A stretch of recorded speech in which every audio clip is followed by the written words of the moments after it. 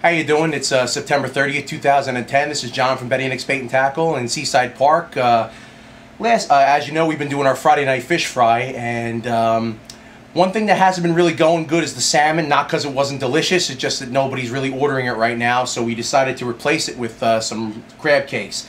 These are homemade crab cakes, lump crab meat with um, my wife's special recipe and spices. Uh, also, it's over a remoulade which is a uh, spicy sauce, which is also a it's an Emeril Lagasse recipe, but my wife Tammy did a uh, take on, a little bit of her own take on it, and I'm gonna try it for the first time, and I'm gonna give you my honest opinion.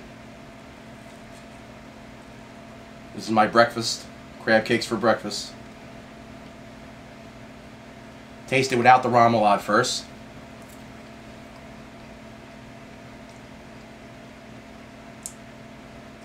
Very good. Let me try the sauce.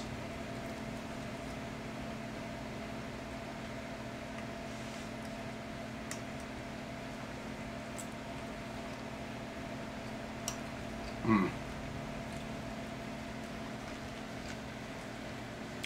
Excellent. Definitely got to try it. We'll be replacing the salmon with this, and you're definitely going to love this. So.